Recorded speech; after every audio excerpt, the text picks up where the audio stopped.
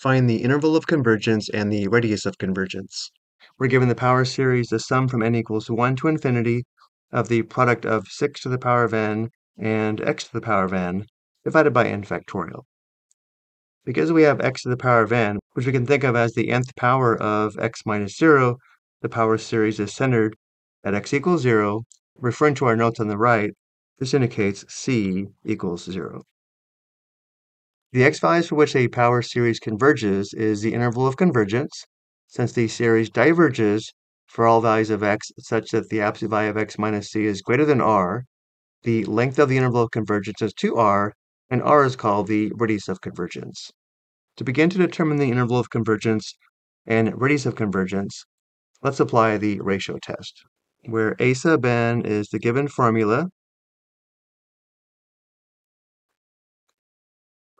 To determine a sub n plus 1, we substitute n plus 1 for n, which gives us 6 to the power of n plus 1 times x to the power of n plus 1, all divided by n plus 1 factorial.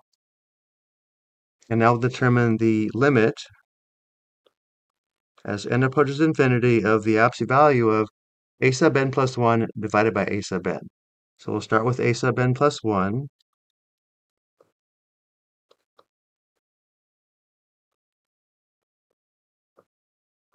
Because a sub n plus 1 is a fraction, instead of dividing by a sub n, let's multiply by the reciprocal of a sub n, which is n factorial divided by the product of 6 to the power of n and x to the power of n. And let's begin to simplify. Looking at the base of 6, notice we have one more factor of 6 in the numerator than we do in the denominator. 6 to the power of n plus 1 divided by 6 to the n simplifies to 6 in the numerator. Similarly, x to the power of n plus 1 divided by x to the power of n simplifies to 1 factor of x in the numerator. And now we need to simplify n factorial divided by n plus 1 factorial. Remember, n plus 1 factorial is equal to n plus 1 times n times n minus 1 and so on. Notice the factors of n times n minus 1 and so on equal the factors of n factorial, which indicates n factorial divided by n plus 1 factorial simplifies to just n plus 1 in the denominator. We can write the given limit as the limit as n approaches infinity of the absolute value of 6x divided by the quantity n plus 1. Notice 6 and x are not affected by n, so if I wanted to, we could write this as 6 times the absolute value of x times the limit as n approaches infinity of the absolute value of 1 divided by the quantity n plus 1.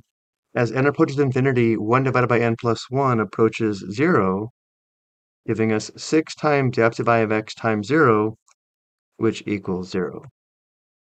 So the limit is always equal to 0, which is less than 1, which indicates the power series always converges, meaning it converges for all values of x. This indicates the interval of convergence is all real numbers, or using interval notation, the open interval from negative infinity to positive infinity, and we say the radius of convergence approaches infinity or equals infinity.